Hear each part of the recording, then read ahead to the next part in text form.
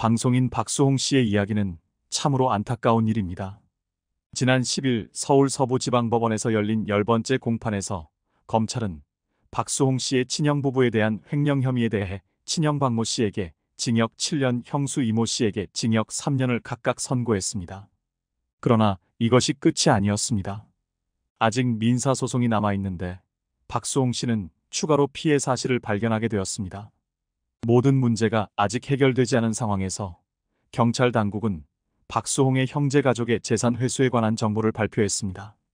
박수홍의 형제 가족의 모든 부동산과 아파트는 이전에 다른 사람의 이름으로 판매 및 소유권 이전되었습니다. 따라서 박수홍이 형제 가족으로부터 보상금을 요구하는 것은 거의 불가능하다고 할 수 있습니다. 이 비디오의 주제는 다음과 같습니다. 1. 박수홍의 형의 범죄에 대한 적절한 결말 2. 박수홍의 비극은 계속되고 모든 부동산, 1개의 아파트와 8개의 상가 건물이 30억 원으로 타인에게 양도되었습니다. 박수홍은 자신의 돈을 모두 잃었습니다. 친형 내외가 방송 출연 등으로 발생한 매출 중 미정산된 부분에 대해서도 책임을 물어야 한다며 198억 원을 청구했는데요. 여기서 법적인 부분이 중요한데 박수홍 씨의 법률 대리인인 노정원 변호사는 이런 종류의 손해배상 청구 소송은 소멸시효가 10년이지만 박수홍 씨의 경우는 동업기간이 20년간이라 기존의 61억에서 청구 금액을 198억 원으로 확대했다고 합니다. 형사재판에서 검찰이 판단한 친형 내외의 횡령 규모는 약 50억 원 정도지만 민사소송가가 198억 원에 이르는 것은 횡령된 금액 외에 박수홍이 방송 출연을 통해 발생한 매출 중 미정산된 부분에 대한 반환 요청이 포함됐다는 것이 박수홍 측의 주장인데요. 또한 박수홍 씨의 민사소송은 형사재판 결과에 영향을 받는데 형사재판에서는 검찰이 박수홍 씨의 친형 내외에게 각각 징역 7년과 3년을 구형했는데 이 정도면 그들의 범죄 행위가 박수홍의 주장과 같다는 의미입니다. 박수홍 측이 제기한 민사소송은 친형 부부의 형사재판이 먼저 진행되고 있기 때문에 2021년 10월 첫 재판 이후로 진행되지 않고 있었습니다.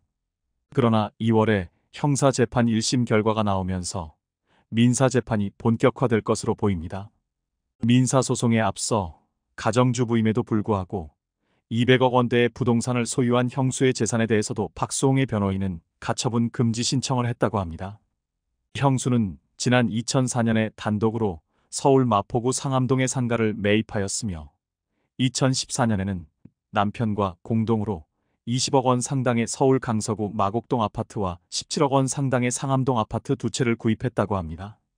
이 밖에도 100억 원 이상으로 추정되는 강서구 마곡동 상가 8채를 남편과 공동으로 소유한 것으로 밝혀졌는데 당시 친형 부부는 박수홍에게 10억 원을 빌려 해당 상가를 매입했다고 합니다. 보유한 부동산 가치만 총 200억 원이 넘고 월세 수입은 수천만 원에 달하는 것으로 알려졌습니다. 그렇다면 왜 박수홍의 형 박진홍과 그의 처 이윤선 그리고 박수홍의 부모들은 법인의 회사 자금이나 박수홍의 개인 자금을 횡령하는 것에 대한 반성이나 배상 대신 오히려 박수홍을 공격하는 것일까요? 잘 나가는 연예인은 가족들에게 있어 황금알을 낳는 거위로 여겨지는데 더욱이 연예인의 매니지먼트를 가족기업 형식으로 운영할 경우 공과 사의 구별 없이 임의로 자금 등을 집행하는 것에 죄책감이나 법적 책임에 대한 인식이 거의 없습니다. 박수홍의 친형 박진홍은 매니지먼트사의 대표이자 사실상 박수홍 부모를 포함한 가족들을 건사하는 가장 내지 호주로 스스로를 인식했을 개연성이 높으며 이로 인해 매니지먼트나 자금 등의 사용 등에 있어 본인이 모든 주도권과 결정권을 가지고 있다고 판단했을 겁니다. 따라서 박수홍이 벌어들인 수익을 박수홍 개인이 아닌 가족의 공동재산 개념으로 여겼기에 가족이 그 돈을 쓴 것에 대한 죄책감 대신 그에 대한 책임을 묻는 박수홍을 가족이란 공동체를 깨뜨리고 가족을 해하는 공격자로 인식. 박수홍을 제외한 나머지 가족 모두가 박수홍을 공격하는 것이죠. 박수홍의 친형 부부는 이번 소송에서 발생한 변호사 선임 비용도 박수홍의 출연료 통장에서 인출했으며 이후 진행된 수사 과정에서 형수 이 씨도 일부 가담한 혐의가 드러나 불구속 기소됐지만 친형 부부는 지난 공판에서 대부분 혐의를 부인했으며 변호사 선임비 횡령만 인정했습니다. 이에 대해 박수홍의 부모는 끝까지 장남인 박수홍에게 돈을 빼앗았다는 잘못을 인정하지 않았으며 오히려 박수홍이 차남으로서 큰형에게 돈을 주고 희생해야 한다는 것이 당연하다는 입장입니다. 그들은 장남 박수홍이 불쌍하다고 얘기했지만 이런 마음이라면 왜 자신들의 잘못을 전혀 인정하지 못하는지 사람들은 의아해할 것입니다. 어떻게 그렇게 뻔뻔하게 행동할 수 있는지 궁금해할 것입니다. 저런 말하면서도 마음에 찔리는 구석이 없을까? 없습니다. 저는 적어도 현재 경험자로서 그렇게 생각하는데 당연하지 않은 것을 당연한 것처럼 여기는 안면몰수의 인간이 실제로 존재하는 걸 겪었기 때문인데요. 그리고 어느 집안이나 이런 사람들이 한둘은 있는데 남의 돈 뜯어먹으면서도 태연하고 뻔뻔하고 모렴치한 사람 말이죠. 친형은 공소 사실을 대부분 부인하면서도 구속기한 만료로 작년 4월 7일 남부구치소에서 출소한 후 불구속 상태로 재판을 받고 있는데 이런 걸 봐도 대한민국의 사법부는 다른 나라들에 비해 범죄자들에 대해 유독 편의를 봐준다는 걸 알 수 있고 괜히 대한민국이 인권국가라고 적어도 제 경험으로는 인권이 중요해서 법이 개판이 되었다는 소리가 괜히 나오는 게 아니죠.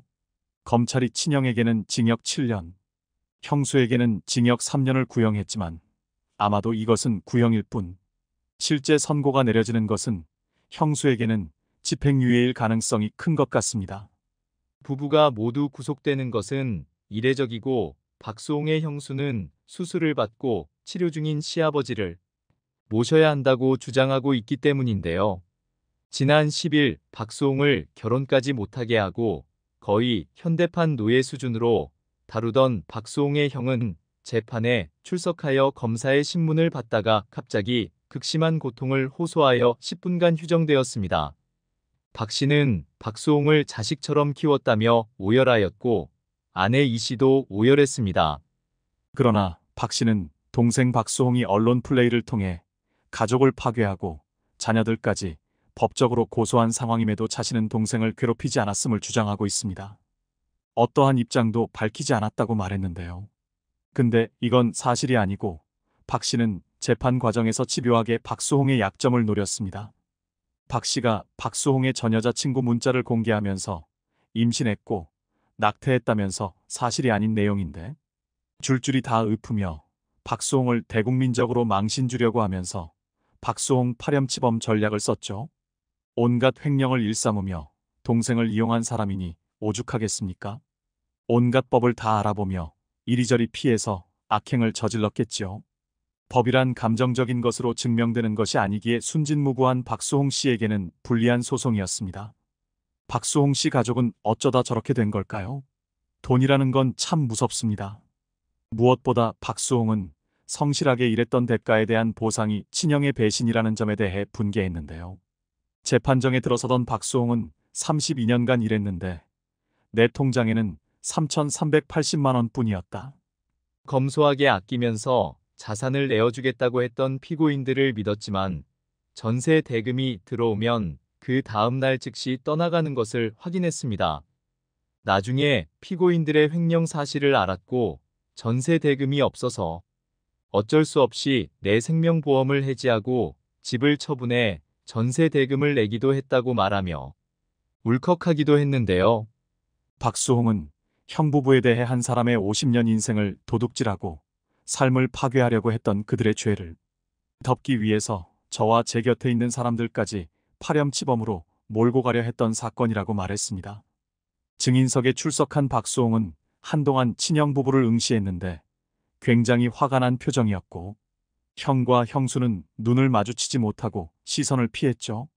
박수홍은 횡령 사건이 일어나기 전까지 전혀 몰랐던 일이었고 고소를 준비하면서 피고인들이 이름으로 마곡에 개인 부동산들이 있다는 것과 법인 자금이 개인 부동산들을 취득하는데 쓰였다는 것을 알게 됐다고 말했습니다. 또한 형과 형수의 법인카드 이용에 대해 통상적으로 연예인 매니지먼트는 연예인이 활동하는 데에 주로 돈을 쓰는데 자신은 학원을 갈 일이 없고 상품권으로 로비를 할 일도 없는 32년 차 연예인이라며 자신이 증거 자료로 제출한 스케줄표를 봐도 자신은 아침부터 녹화를 하고 밤